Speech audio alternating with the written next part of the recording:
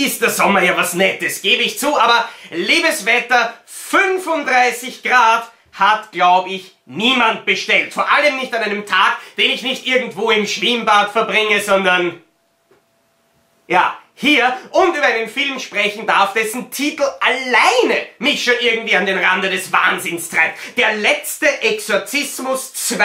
Ist irgendjemandem aufgefallen, dass das vielleicht ein bisschen ironisch ist? Der letzte Exorzismus 2. Untertitel Der allerletzte Exorzismus oder der, ganz im Ernst, das ist jetzt wirklich der letzte, einen dritten Teil machen wir ganz sicher nicht, das glaube ich nicht, vor allem wenn ich erinnern kann, dass von einem der bekanntesten Filmfranchises aller Zeiten das letzte Kapitel Teil 4 war und es immerhin 10 Teile von dieser Reihe gibt. Aber Trotzdem kann ich noch eine große Frage in den Raum werfen. Wie schafft man es, einen Film wie den letzten Exorzismus, einen Wackelkamera, Grusel, Horror, Geist austreibe, bla bla Film, besser zu machen? Ganz richtig, man lässt einfach die Wackelkamera weg. Fertig. Und das ist übrigens etwas, Leute, die meinen Kanal verfolgen, wissen das. Ich hasse Wackelkamerafilme. Und jeden, jeden Wackelkamerafilm kann man dadurch besser machen, indem man ihn einfach so filmt wie einen normalen Film. Und sollte es möglich sein, dass dann nichts auch nur ansatzweise überbleibt, was eine Daseinsberechtigung für diesen Film ausspricht, dann hatte er die von Anfang an nicht. Wenn ein Film wie The Blair Witch Project daraus besteht, dass drei Leute durch einen Wald gehen und das Einzige, warum sich irgendjemand vor diesem Film fürchtet, ist, weil man sich denkt, verdammt, ich habe nur drei Schachteln Aspirin einstecken, wenn sie dann mit der Kamera noch weiter herumwackeln, die nächste Viertelstunde, in der nichts passiert, dann ist das kein Film, den man sich meiner Meinung nach anschauen muss. Aber ich glaube, mittlerweile wiederhole ich mich. Das man bei The Last Exorcism 2 dann auf die Wackelkamera verzichtet hat, ist meiner Meinung nach die beste Idee, die Produzent Eli Roth in den letzten 10 Jahren hatte. Allerdings beginnt der Film trotzdem mit einer Rückblende zum ersten Teil. Vielleicht um das Publikum zu erinnern, hey, weißt du noch, wie grottenschlecht die Kameraführung im ersten Teil war? Du wirst den zweiten Teil lieben. Dann sehen wir natürlich auch dieses überraschende, großartige, tolle und viel diskutierte Ende von dem ersten Teil. Ja, ich erwähne The Last Exorcism war vielleicht einer der besseren Wackelkamerafilme. Zumindest einer, der ansatzweise eine Fanbase hat. Mir hat er trotzdem nicht gefallen. Ähm, das Ende vom ersten Teil war auf jeden Fall, dass dann der Typ, der die ganze Zeit die Kamera geführt hat, ähm, zu Boden gefallen ist. Das haben wir natürlich wieder aus der Kameraperspektive gesehen und nachdem wir das jetzt am Anfang vom zweiten Teil wieder über uns ergehen lassen mussten, sehen wir die am Boden liegende Kamera, weil das war so schwer, dass wir uns das alleine vorstellen können, dass die Kamera, die vorher zu Boden gefallen ist, jetzt am Boden liegt. Hm. Gut, der Film schneidet, wir sehen ein Pärchen, das im Bett liegt. Er wird plötzlich von irgendwas unter der Decke attackiert, irgendeine Art, was weiß ich, Waschbär, keine Ahnung was. Sie verstecken sich dann im Bad, wenn sie wieder nach draußen kommen, ist die Küche ganz verwüstet. Das Einzige, was ich glaube, was nach der Szene am realistischsten passieren könnte, ist, dass Michael J. Fox mit einem Toaster vor der Tür steht und quasi mein you gonna call? Naja, es ist eine wirklich langsame, ruhige Szene, wie dann der Kerl ähm, durch das Schlafzimmer in die Küche geht. Das Ganze ist relativ unheilvoll. Wir haben eine gute äh, musikalische Untermalung und vor allem etwas, das der letzte Exorzismus 1 nicht hatte. Atmosphäre. Wir haben eigentlich eine durchaus spannende Szene. So wie diese Szene aufgebaut ist, fragen wir uns zumindest, was findet er, wenn er jetzt in die Küche geht? Was war das, was ihn attackiert hat? Passiert mit denen irgendwas? Weil, um ehrlich zu sein, die Leute, die in der ersten Szene von einem Horrorfilm auftauchen, haben selten hohe Überlebenschancen. Er findet in der Küche dann irgendwie neben dem Kühlschrank so eine zusammengekauerte Nell, die Besessene aus dem ersten Teil liegen, die vielleicht die Kinder aus Mama nachspielen möchte und in der nächsten Szene schon ins Krankenhaus kommt. Das bedeutet, der letzte Exorzismus 2 ist einer der wenigen Filme, der seine beiden Opening-Scene-Charaktere am Leben lässt. Yay, wenn das nicht ein Omen ist für den äh, restlichen Film. Naja, Nell kommt ins Krankenhaus, wird dort von irgendeiner Schwester gewaschen, die während sie wäscht ihr eine Haarsträhne abschneidet und in ein Säckchen gibt, das sie immer einstecken hat, das so aussieht, als wäre es mit anderen Haarsträhnen voll. Ja, was passiert? Ähm, vor allem können, können wir natürlich fragen, wenn sie offensichtlich ihren Patienten Haare abschneidet, äh, sollte sie die dann nicht irgendwie in getrennte Behältnisse geben, wenn sie das irgendwie aufbewahren und was weiß ich für spirituelle Sachen verwenden will? Foreshadowing. Ähm, weil nicht, dass das dann irgendwie durcheinander kommt oder wenn sie sich dann eine Echthaarperücke nähen möchte. Naja, äh, nachdem das passiert ist, kommt dann plötzlich ein Jumpscare, weil Nell reißt die Hände aus dem Wasser und schreit, er wird uns alle töten! Und nachdem das passiert ist, ist die Szene einfach aus. Aha, Nell sitzt dann bei einem Psychiater, der irgendwie erklärt, sie ist die einzig Überlebende von irgendeinem Kult. Sie meint, der Dämon ist noch irgendwo da draußen. Ich habe David Duchovny damit beauftragt, dass er ihn finden wird.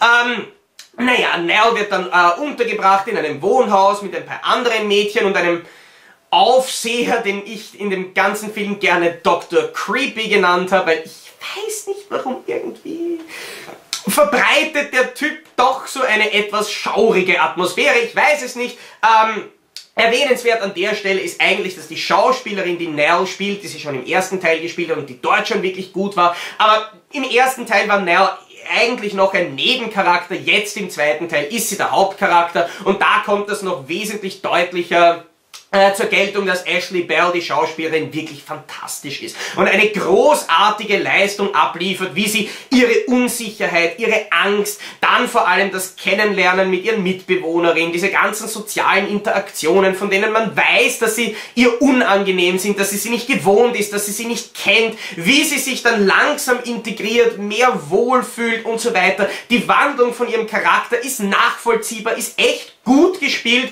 und kommt für den Zuschauer auch wirklich gut rüber. Dann gibt es übrigens eine Szene, wo Dr. Creepy die Jugendlichen einen Brief schreiben lässt an jemanden oder an die Person, die sie verletzt hat, weswegen sie da sind. Interessante Methode. Und Nell schreibt an diesen Dämon namens Abalam. Hm. Okay.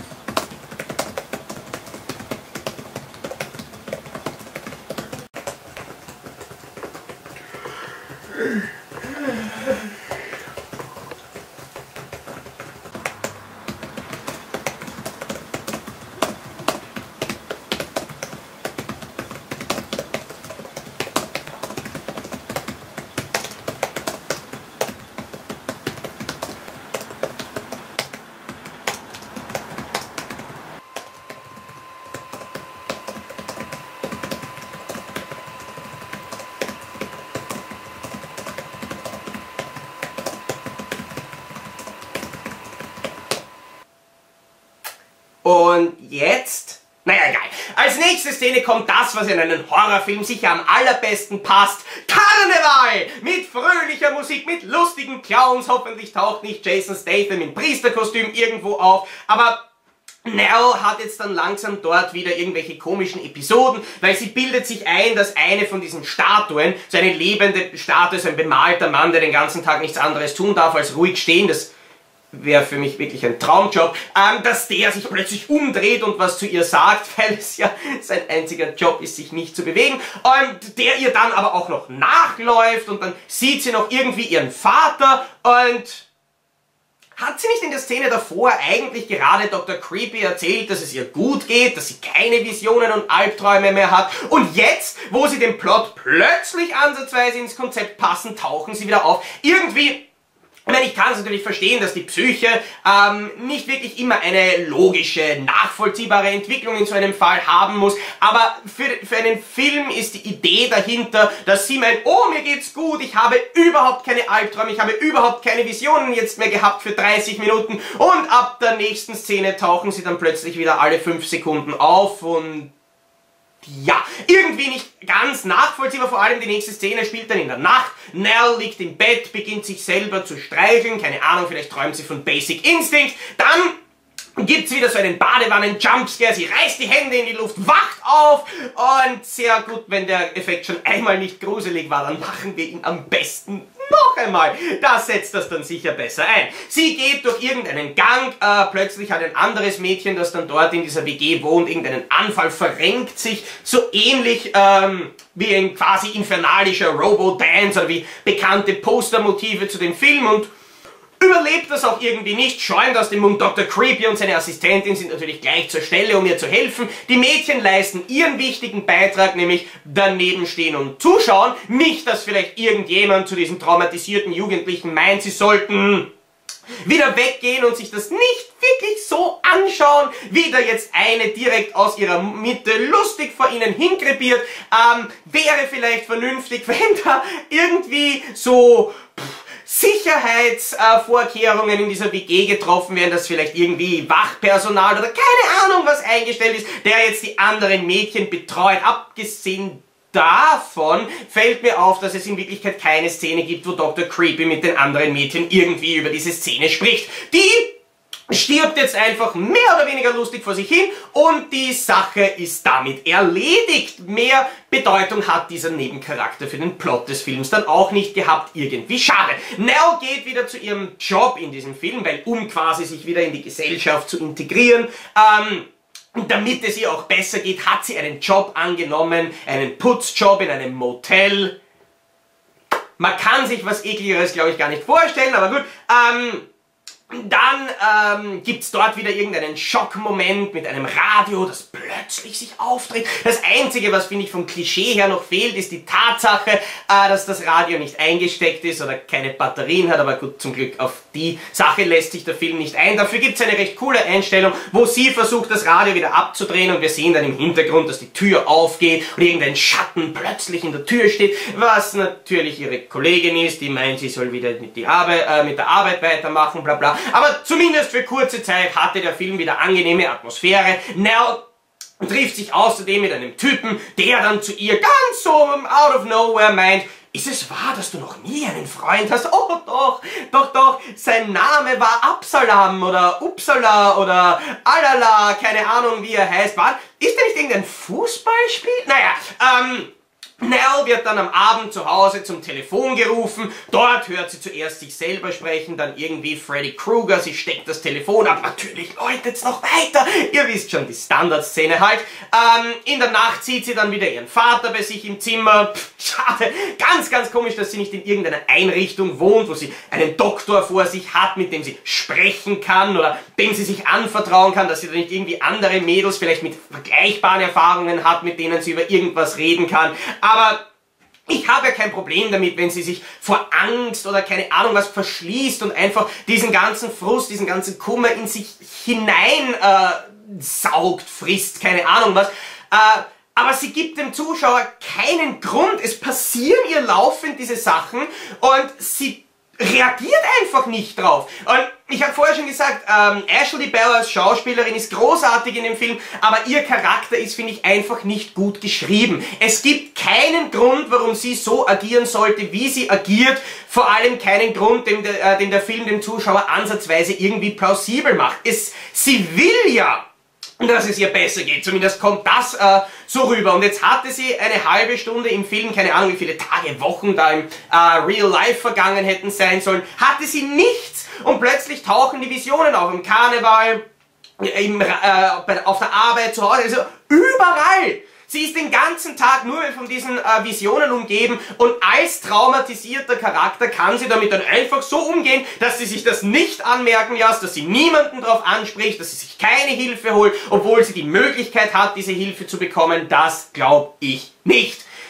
Gut, wir wechseln wieder die Szene. Sie ist wieder mit ihrem Freund ähm, äh, beisammen. Der meint, er hat angerufen, sie hat aber nicht abgehoben. Äh, dieser Dämonenanruf von bla bla bla. Ähm, dann küssen sich die beiden. Äh, Nell ist daraufhin sofort wieder glücklich. Und diese ganzen Dämonensachen sind auch schon wieder verdaut. Kann man ja vergessen, ist ja überhaupt kein Problem. Ist ja nur irgendeine extrem mächtige, übernatürliche Fähigkeit, die mir möglicherweise die Seele aus der Melone reißen will. Aber sonst ist da nichts vor dem man sich irgendwie fürchten muss.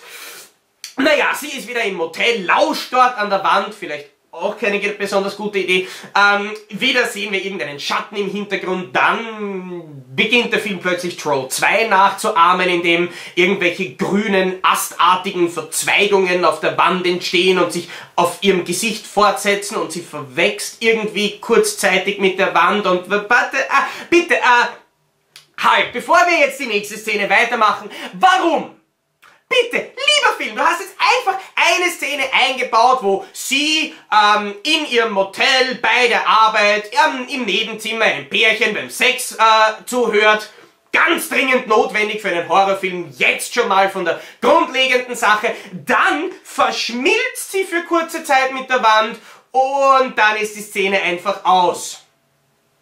Erklärungen können dabei helfen, den Film zu verstehen und vor allem sich für das zu interessieren, was passiert. Vor allem, wenn diese ganzen Szenen im Hotel eigentlich generell nichts weiter sind als Filler und man in Wirklichkeit komplett darauf verzichten könnte und für die ganze Geschichte des Films nicht ansatzweise irgendetwas verlieren würde. Aber oh, lassen wir das. Naja, in der Nacht taucht dann dieser Freund, dieser Chris, ähm, unter ihrem Fenster auf, wirft Steine gegen das Fenster. Ähm, sie meint eigentlich, nein, sie darf ja nicht raus, aber dann geht sie doch raus und habe ich eben schon erwähnt, dass sie in einer WG mit psychisch labilen Mädchen wohnt, da ist dort keine Wache, keine Sicherheitskameras, keine ähm, sonstigen Maßnahmen gibt, die möglicherweise verhindern, äh, verhindern, dass eines der Mädchen mitten in der Nacht einfach nach unten geht, die Tür aufsperrt und nach draußen wandert oder dass von draußen irgendjemand hinkommt. Noch einmal!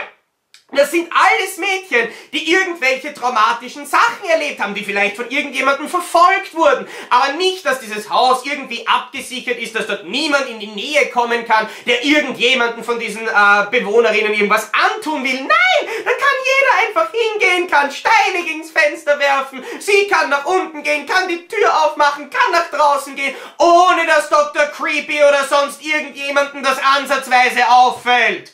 Worst Institution ever. Aber sie findet ja dann dort nicht einmal diesen Chris. Nein, der...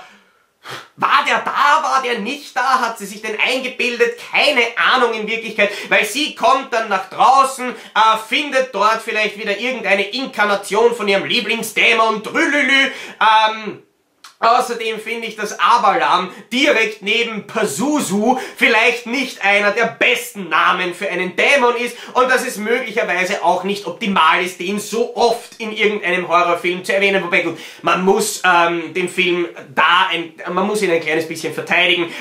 Das ist meine Sache, allerla so oft zu sagen, weil ich einfach finde, dass es unglaublich wichtig ist, diesen Namen sich zu merken, dass wir den ganzen Film hindurch eigentlich Angst haben sollen vor irgendetwas, das klingt wie ein Kindergesang von irgendeinem, was weiß ich, Einschlaflied, wo man einfach den Text vergessen hat. Schlaf, Kindlein, schlaf.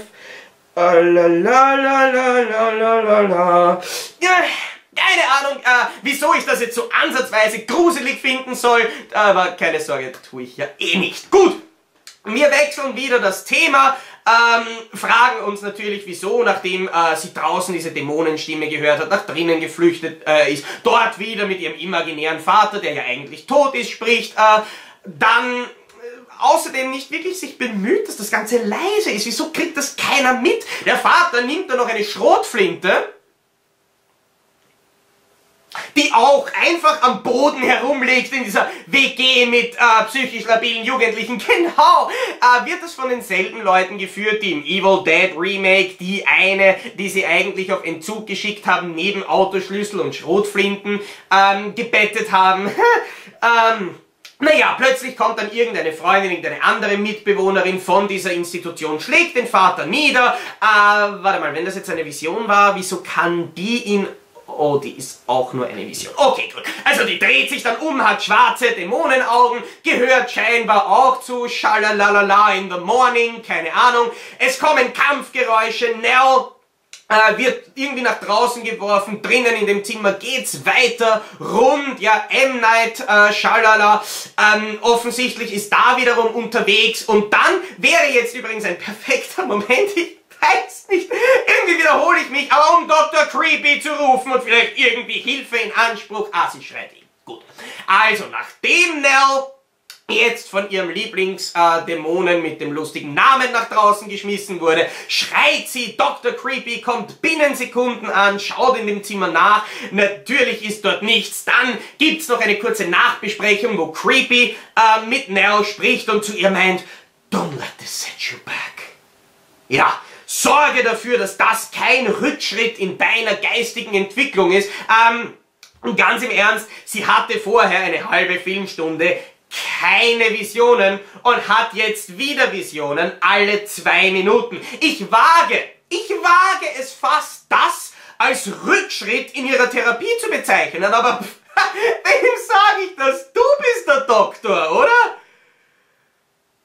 Außerdem fällt mir an der Stelle ein, dass der Film uns ansatzweise bis jetzt noch nicht einmal vier Sekunden lang erklärt hat, was eigentlich die Backstory von den anderen Mädels in dieser WG ist. Man hat nur erfahren, dass sie eben alle irgendwie eine Backstory haben. Aber was die durchgemacht haben, was mit denen passiert ist, was ansatzweise vielleicht dazu führen könnte, dass uns diese anderen Nebencharaktere nicht so egal sind, dass wir jedes Mal, wenn sie wieder auftauchen, mitzählen, um eigentlich zu wissen, wie viele Mädchen in diesem Haus wohnen. Ähm, wäre das ganz nett, vor allem wenn dann, Spoiler-Alarm, ähm, dieser Carrie-artige Schluss auftaucht, wäre es uns nicht komplett egal, wenn alle irgendwie zu Rostbratwürsten umfunktioniert werden. Aber egal, wir hatten schon lang keinen billigen äh, Jumpscare-Schock-Effekt mehr, deswegen haben wir wieder eine Nachtszene und äh, fragen uns natürlich, wieso Dr. Creepy nicht irgendwie in ihrer Nähe bleibt oder irgendjemand sich darum kümmert, dass es ihr in der Nacht gut geht, nachdem sie jetzt gerade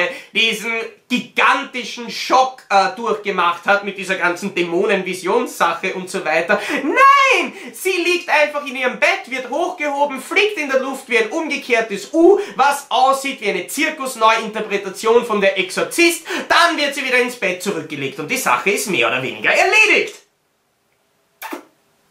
Ich liebe es, wenn Horrorfilme irgendwelche Schockeffekte rein für den Zuschauer machen, die absolut null Bedeutung für die Story an sich haben. Im Gegenteil, die so unbedeutend sind, dass sie die Darsteller und die Charaktere in dem Film selbst nicht einmal mitbekommen. Diese Szene wird einfach nie wieder angesprochen. Ja, es ist ein nettes Bild fürs Poster, es ist ein nettes Bild fürs Backcover vom französischen Zielbuch. Okay, das lasse ich mir einreden, aber es ist komplett wertlos für die Story des Films in Wirklichkeit, weil wie kann, wie kann dieser Hahaha-Dämon äh, sie einfach im Schlaf aufheben, ohne dass irgendwie bis jetzt äh, geklärt wurde, wie sich der in der realen Welt materialisiert, ob er das überhaupt tut, ob das jetzt ein Traum ist, ob das jetzt eine Vision ist, ob das in Wirklichkeit wirklich passieren soll, also in der Wirklichkeit des Films und was es eigentlich wirklich mich interessieren soll. Spannend Film, danke für irgendwie eine unzusammenhängende Collage von irgendwelchen Szenen,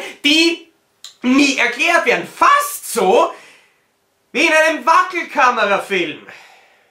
Hm, lasst euch das auf der Zunge zergehen. Na egal. Nell kommt in der nächsten Szene dann wieder ins Wohnzimmer nach unten. Dort schauen sich die anderen vier Mädchen aus der WG ein Video auf YouTube an. Verrücktes, besessenes Mädchen im Wald. Die Story vom ersten Teil ist auf YouTube. Die Dokumentation, die der Kerl dort in diesem Wald gedreht hat, über diese Besessene und so weiter, ist auf YouTube. Das Video von dem Kerl, der am Ende von seiner Dokumentation selbst gestorben ist, ist auf YouTube. Das Material von der Kamera, das am Anfang, äh, also das am Ende vom ersten Teil, am Anfang jetzt vom zweiten Teil in diesem Flashback, irgendwo in der Wiese gelandet ist, bei irgendeinem dämonischen Kult, ist auf YouTube! Der Kult, der Leute umbringt, der versucht, Beweise dahingehend zu vernichten, indem er komplette Filmteams eliminiert, findet eine Kamera am Boden. Zugegebenermaßen kann ich mich, glaube ich, noch an ein riesiges, großes Lagerfeuer erinnern, das am Ende von der letzte Exorzismus zu sehen war und kommt nicht auf die Idee, Kamera und Speicherkarte möglicherweise in diesem Lagerfeuer zu vernichten. Nein! Dieser Dämonenkult, der außerdem einen Dämon ähm, anbetet, der es möglicherweise im Internet nicht wahnsinnig leicht hätte und mit seinem Trululu-Namen vielleicht irgendwann einmal zu einem Meme-Bild werden könnte, ähm, der nimmt die Kamera und lädt das Material auf YouTube. Außerdem, wer das zusammengeschnitten hat, ist natürlich die andere Frage. Aber ja, irgendjemand hat jetzt diese Kamera gefunden, hat jetzt dieses Material auf YouTube geladen. Who scary! Weil wir wissen ja jetzt schon, dass das irgendein Punkt ist, den der Film nie wieder ansprechen wird. Dann haben wir natürlich weiterhin dieses große Glück, dass wir uns in einer WG befinden, die nicht ansatzweise über Security oder sonst irgendwas verfügt, wo vielleicht irgendjemand verhindert dass die Mädchen dieses Material im Internet finden und dann vor allem diejenige, die auf diesem Material zu sehen ist und für die das ein Wiedererleben ihrer traumatischen Erfahrung und damit wiederum vielleicht selbst eine traumatische Erfahrung ist, dass die dieses Material gezeigt bekommt. Zum Glück gibt's nicht irgendwie einen Dr. Creepy oder eine undefinierte Assistentin oder sonst irgendwas, die sich darum kümmern, die ansatzweise anwesend sind die ganze Zeit, die schauen, was passiert. Nein! Wir überlassen diese Leute einfach sich selbst, die sollen dort wohnen, im Internet surfen. Das Internet ist ja sicher keine Fundgrube von irgendwelchen wahnsinnigen Sachen, keine Ahnung. Vielleicht finden sie irgendjemanden, der einfach nur vor einer YouTube-Kamera sitzt und munter drauf losbrüllt, was vielleicht irgendwie auch, äh, ich red mich gerade in einen Wirbel rein, lassen wir das, ähm, dann, nachdem sie dieses Material gefunden hat, schreit Nell überraschenderweise. Dr. Creepy kommt wieder rein, fragt, was los, äh, was los ist, sieht dieses Material auf dem Computer. Abgesehen davon, dass, glaube ich, gerade kein Standbild von Nell aktiv ist, weiß er offensichtlich gleich, was das ist. Hinterfragt es aber auch nicht mit einem Wort, sagt auch nicht zu den anderen Mädchen, seid ihr alle eigentlich wahnsinnig, dass ihr das da zeigt und schaut und keine Ahnung was. Ähm, hat auch offensichtlich nicht das Interesse, dass es dann irgendeine Szene gibt, wo er sich dieses Material anschaut, um sich vielleicht irgendwie besser auf die Zusammenarbeit mit Nell vorzubereiten. Nein, nein, er bittet sie dann einfach zu sich ins Zimmer, spricht irgendwie mit ihr über bla bla, sie meint, ach, ich pack das schon und man merkt weil die letzten 20 Minuten in dem Film hast du deine Story ja wirklich so wahnsinnig toll gepackt, dass muss man echt sagen. Naja. Nell versucht in einer Kirche Hilfe zu bekommen, was auch nicht gerade gut geht. Immerhin ist, wenn sie dann nach draußen geht, irgendwie der Überrest von Alfred Hitchcocks Die Vögel auf dem Rasen zu finden. Sie geht weiter, wird auf der Straße von irgendeinem Mann belästigt, der unbedingt ein Foto mit ihr haben will, weil er sie auf YouTube gefunden hat. Und das Foto funktioniert nicht, irgendwie sein Gesicht verpixelt, er läuft ihr weiter nach. Irgendwann einmal beginnt dann auch er diesen Robo-Dance nachzumachen, beziehungsweise diese lustigen Bewegungen aus Robo-Vampire, bis er dann irgendwie auch, naja, man muss zugeben, diese ganzen Knackgeräusche und diese brechenden Knochen, während er ähm, seinen Robo-Dance hinlegt, deuten darauf hin, dass es möglicherweise für ihn kein angenehmer Besuch beim Chiropraktiker oder Totengräber wird. Auf jeden Fall taucht dann plötzlich eine Frau auf, die Nell anspricht und der sie sofort natürlich vertraut und man muss am Anfang ein bisschen überlegen und kommt dann drauf, das ist die Krankenschwester, die ihr am Anfang, äh, äh, die sie am Anfang gebadet hat und die ihr die Haare abgeschnitten hat, was einen natürlich dann wieder zu dem zu der Überlegung bringt, dass wir keine Ahnung haben, warum sie ihr die Haare abgeschnitten hat, weil dieser Charakter ab dieser Szene eigentlich in dem ganzen Film nicht mehr wirklich vorgekommen ist. Na gut, Nell geht trotzdem mit dieser äh, Frau mit Natürlich, weil welche Fremden, die sagen, du, du hast einen Dämon in dir, ich gehe dir diesen Dämonen austreiben, das ist überhaupt kein Problem. Du musst nur mit mir ganz allein in dieses entfernte Haus ähm, gehen, dort wartet dann mein Freund, der heißt zwar Donofrio und das ist überhaupt kein Problem, hat irgendwie jemanden im äh, Wohnzimmer angekettet, aber auf den brauchst du gar nicht schauen, dir wird's gut gehen danach. Naja, sie geht mit ihr nach Hause, findet dann dort, dass sie an der Wand ein Symbol hat und wenn mich jetzt nicht alles täuscht, ist das dasselbe Symbol, was Nell auch bei ihrer ähm, Trauma-WG schon gefunden hat. Wenn das so ist, dann kann ich auf jeden Fall jetzt schon sagen, dass dieses Symbol wahnsinnig viel bringt und ihr sicher urhelfen wird. Naja, Beschwörungsszenen und diese ganzen, was weiß ich was, also wir sitzen zusammen am Tisch, geben uns alle die Hände und erfahren dann alles über Pasusus und Alalalas. Na klar, ja. Ähm, Finde ich in Filmen generell meistens ziemlich schwach, vor allem weil die schon damit beginnt, dass sie einen wieder an den ersten Teil erinnert. Haben die Leute nicht irgendwie mitbekommen, dass es vielleicht nicht wirklich die beste Idee ist, jemanden dauernd an einen Film zu erinnern, der nicht wahnsinnig gut war? Naja, vielleicht gibt es tatsächlich Leute, die ihn besser fanden als den zweiten Teil. Egal. Ähm, es wird dann zumindest doch etwas gruselig, muss ich echt sagen. Vor allem, wenn die Fliegen kommen, auch wenn ich bei jedem Teufel-Film, wo es um Fliegen geht, irgendwie dann James Woods am Anfang von Scary Movie 2 auf der Toilette wieder sehe, was eigentlich mehr gruselig war, als es der letzte Exorzismus 2 bis jetzt war, weil lustig war beides nicht wirklich. Ähm, und dann kommt aber noch diese Szene mit den fliegenden Messern, die nach unten fallen. Eigentlich wiederum relativ cool, relativ fein. Nell besucht in der nächsten Szene ihren Freund, der sich unter den Schmerzen des nächsten Flashbacks die Kehle durchschneidet. Und dann ruft wieder dieser Dämonenfreund bla bla an. Und was mir so wahnsinnig gut gefällt an einem Film wie der letzte Exorzismus 2, der, seine Charaktere und seine Story und seinen Plot wirklich toll unter Kontrolle hat, ähm, dass ich nicht einmal weiß, ob dieser Kerl jetzt wirklich tot ist. Weil bei dem, was uns der Film bis jetzt vorgesetzt hat, kann es genauso gut sein, dass er sich A gerade wirklich die Kehle durchgeschnitten hat und tot ist, oder dass es B nur wieder irgendeine weitere Vision von Nell ist. Zum Glück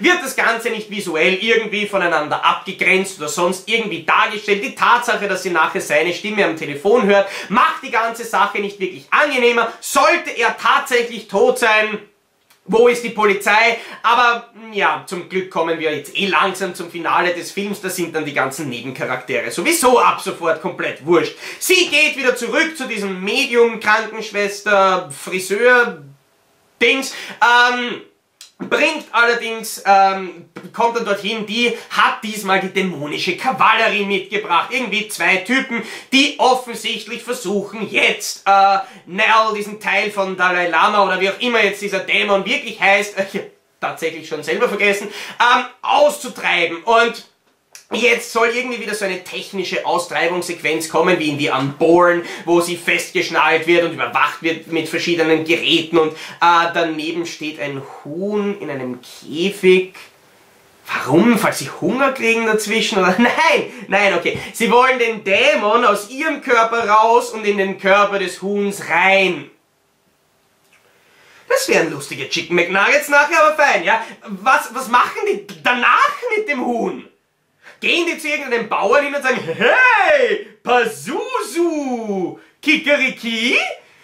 Naja, Pasusuriki, das wäre ein, äh, ein, ein, ein, toller Spitzname für dieses Huhn. Naja, ähm, auf jeden Fall ist die Austreibungssequenz in Wirklichkeit die 0815 Klischee-Version, diese bekannte Mischung aus Schreien und Schocks, aber irgendwie nicht schlecht gemacht und eigentlich auch durchaus ähm, gruselig, was ich relativ spannend finde, ist, Nell zuckt dann irgendwie aus und ein Kerl spritzt ein Beruhigungsmittel oben in den Tropf, das natürlich nach einer Sekunde sofort wirkt. Danach sieht äh, Nell noch einige Dämonen und Leichen irgendwie auftauchen, bis sie dann an dieser Überdosis Beruhigungsmittel sterben soll. Denn sie haben während dieser Austreibung bemerkt, dass man, äh, dass sie es nicht schaffen werden, dass der Dämon zu stark ist und deswegen wollen sie sie einfach töten. Weil der Dämon so stark ist, dass er nicht aus ihrem Körper rauskommt freiwillig, scheint es eine gute Möglichkeit sein, ihren Körper umzubringen, weil dann der Dämon sicher nicht einfach freiwillig in dieses Hühnchen äh, zischt. Wobei gut, jetzt wissen wir natürlich, dass sie danach, wenn der Dämon in diesem Huhn gewesen wäre, spätestens dann Frikassee draus gemacht hätten. Aber irgendwie äh, verstehe ich den ganzen Sinn dahinter dann doch auch irgendwie nicht. Vor allem, wenn das jetzt so die, die großen Dämonen-Experten sind, müssten sie dann doch langsam wissen, dass wenn Dämonen die Macht haben, ihre eigene Austreibung zu verhindern, dass sie dann möglicherweise, auch wenn sie es wollen, einen Körper freiwillig wieder verlassen haben, weil irgendwie musste der Dämon ja auch in ihren Körper hinein. Und das war sicher auch nicht so, dass sie mit irgendeinem Hühnchen gemeinsam am Tisch von Flatliners aufgebahrt wurde und dann der Dämon dort rüber gewandert ist. Der kam einfach, weil er gerade lustig war. Und ich glaube, wenn ich mich jetzt richtig erinnere, hat das der erste Teil auch nicht so wirklich erklärt, wieso und wie sie besessen wurde. Also, ja, aber der beste Teil von der letzte Exorzismus 2 kommt jetzt noch. Weil nachdem sie ähm, diese ganzen toten Leute aus dem Film gesehen hat, kommt dann der Dämon in der Gestalt von ihr selbst, gibt ihr die Hand und meint, ähm, sie sei irgendwie mit der Kraft des Tigers geboren. Und dann sehen wir dieses Haus, wo diese äh, Austreibung stattfinden soll. Von außen, es passiert einige Zeit nichts und dann fliegt einer von diesen Typen aus dem Fenster und das fand ich wirklich eine großartige Einstellung. Äh, cool gemacht, vor allem, weil wir die Kampfgeräusche des Tigers von drinnen hören. So wie am Anfang von der dritten Folge der zweiten Staffel von CSI New York, wo der eine Typ von dem Tiger zerlegt wird, hören wir die Kampfgeräusche des Tigers von drinnen, während der Typ dann nach draußen fliegt. Dann gibt es natürlich noch weitere Kampfgeräusche. Offensichtlich sind alle tot in diesem Haus. Und Nell wankt ruhig mit der Gelassenheit von Carrie aus dem Haus nach draußen. Ha, ich hätte übrigens gerne den Kampf drinnen gesehen, weil vielleicht hat sich Nell auch in diesen CGI-Tiger aus The Asylum Zombie Apocalypse verwandelt. Dann hätte der Film zumindest wieder etwas, was ihn besser gemacht hätte. Naja, Dr. Creepy telefoniert in der Zwischenzeit mit der Polizei, meldet Carrie Nell als vermisst. Sie taucht dann aber plötzlich wieder auf, äh, meint, ich bin nicht mehr Nell. Ich heiße jetzt... Ablabla, nein, das ist auch nicht der Name. Abalama, aber, aber, na egal, aber, aber, ich bin jetzt eine schwedische Rockband und heiße Aber. Naja, auf jeden Fall, sie ist jetzt dieser Dämon, tötet Dr. Creepy. Äh, was mir übrigens wahnsinnig gut gefällt, ist, während sie äh, Dr. Creepy erzählt, dass sie jetzt wieder dieser Dämon ist, grinst sie wieder auf eine großartige Art und Weise. Ähm, diese, diese schelmische, tückische, dämonische Bosheit in ihrem Blick ist absolut fantastisch. Dann geht sie noch durch dieses Haus durch, zündet das ganze Haus an, geht nach draußen. Offensichtlich äh, sind alle anderen Mädchen gestorben, weil es nicht möglich ist, bei dieser dünnen Feuerspur, die die Treppe nach oben geht, irgendwie ansatzweise zu flüchten. Hup, vielleicht auch aus dem Fenster, weil die sind auch sicher nicht abgesichert in dieser WG für psychisch labile Leute. Nein, die könnten sicher zu jeder Zeit auch aus dem Fenster hüpfen, aber Nachdem, das war eben das, was ich vorher erwähnt habe, uns diese Nebencharaktere nie wirklich vorgestellt wurden, ist es uns auch eigentlich ziemlich egal, ob die jetzt zu Grillgut umfunktioniert werden oder nicht, was irgendwie tragisch ist. Ähm, dann äh, kommt aber muss ich fast sagen, meine Lieblingsszene aus dem ganzen Film. Nell steigt ins Auto ein, fährt mit dem Auto durch die Stadt und um sie herum quasi die Sintflut. Jedes Auto, das ihr entgegenkommt, fängt Feuer, grausliches CGI-Feuer selbstverständlich, was mir die Frage natürlich stellt, warum ihr Auto nicht, aber egal, jedes Auto fängt Feuer, Häuser fangen zu brennen an, Fensterscheiben zerspringen. Absolut herrlich. Wer sich noch an die tolle Szene erinnern kann aus dem Leslie Nielsen Film Schwer verdächtig, wo er aus dem Kanal kommt und dann nachher in diesem Blumengeschäft vorbeigeht und alle Blumen automatisch verwelken, sobald er in die Nähe kommt. So in etwa wirkt diese Szene und Was mich ein bisschen wundert, ist, dass im Hintergrund so laute, aufdringliche Rockmusik ist, die eigentlich eines ankündigt und ja, tatsächlich, der Film ist damit aus. Das ist das Ende von der letzte Exorzismus 2, wo sie nach dieser offensichtlich misslungenen Teufelsaustreibung eigentlich alle anderen Charaktere aus diesem Film umbringt. Sowohl das Medium als auch ihre Anti-Demon-Kavallerie, sowohl äh, Dr. Creepy als auch die anderen Mädels aus der WG, alle werden frittiert, geröstet, beziehungsweise mit den Tigerpranken in Steaks verwandelt. Großartig. Dann fährt sie noch mit dem Auto, fackelt die halbe Stadt ab und der Film ist zu Ende. Erinnert mich übrigens wieder an das, was ich am Anfang des Reviews gesagt habe. Wie wär's mit der letzte Exorzismus Teil 3? Aber ganz ehrlich, wenn der Film wirklich ist, Ashley Bell geht oder fährt durch die Stadt, ähm, und fackelt einfach alles ab, wäre ich sofort dabei. Das wäre dann irgendwie wie so eine Art The Asylums. Ähm, äh, letzte Exorzismus, den es auch gibt, ich weiß, danke. Ähm, oder ich könnte natürlich auch einfach eine Busreise nach Silent Hill empfehlen. Das, das wäre natürlich toll. Hey, hey, Christopher!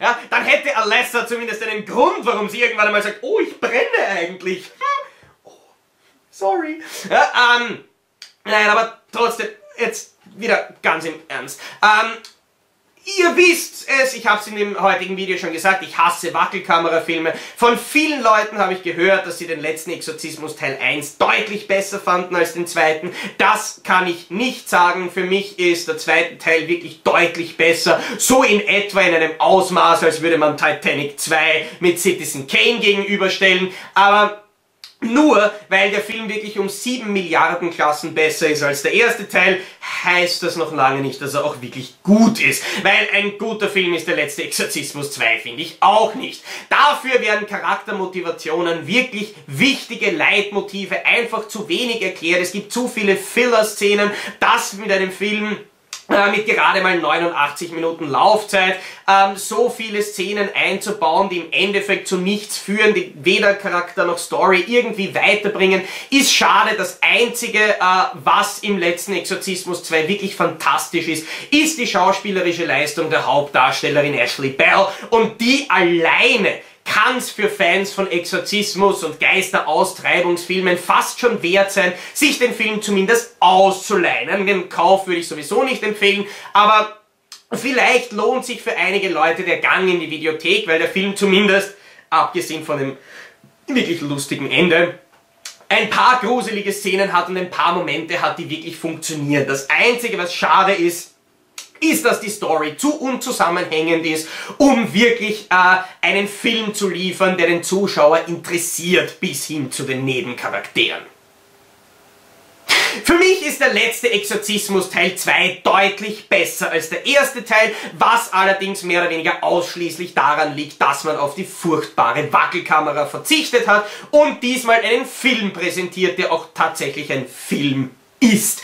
Die schauspielerische Leistung der Hauptdarstellerin Ashley Bell ist fantastisch. Sie schafft die Emotionen ihres Charakters und vor allem diese emotionalen Wandlungen und die schwierigen sozialen Interaktionen, die sie am Anfang vor sich hat, großartig zu vermitteln. Vor allem dieses schelmisch-dämonische Grinsen, was sie dann teilweise auch noch aufsetzen darf, ist toll. Sie spielt den Charakter fantastisch und meiner Meinung nach ist ihre Leistung es alleine schon wert, sich den Film zumindest auszuleihen bzw. anzuschauen, sollte er irgendwann einmal im Fernsehen laufen. Abgesehen davon hat der letzte Exorzismus Teil 2 ein paar Szenen, die wirklich gruselig sein können, so beispielsweise schon die Eröffnungssequenz, wo Nell dann gefunden wird, aber er schafft es nicht, diese bedrückende, gruselige Atmosphäre wirklich aufrecht zu erhalten. Dafür hat er einfach viel zu viele Filler-Szenen, die im Endeffekt nirgendwo hinführen inklusive sämtlicher Dämonen-Auftrittsszenen, die auch nicht wirklich weiterentwickelt sind, weil der Film nichts daraus macht. Es passiert in dem Film so viel, was dann einfach in keiner weiteren Szene angesprochen wird, was mehr oder weniger bedeutet, wir sehen eine Collage an Szenen, wie man es eigentlich von einem Wackelkamerafilm gewohnt ist. Dadurch fehlt der Story der Biss, dadurch fehlt auch dem Zuschauer die Möglichkeit, irgendwie in die Story hineinzufinden, weil es wenige tatsächliche Entwicklungen von Charakteren und Story gibt, abgesehen davon, dass einem alle Nebencharaktere eigentlich so gut wie gar nicht vorgestellt werden und dadurch ziemlich egal sind. Trotzdem, Ausleihen schadet mal nicht, ähm, so bleibt der letzte Exorzismus Teil 2 für mich ein durchschnittlicher Geister-Gruselfilm.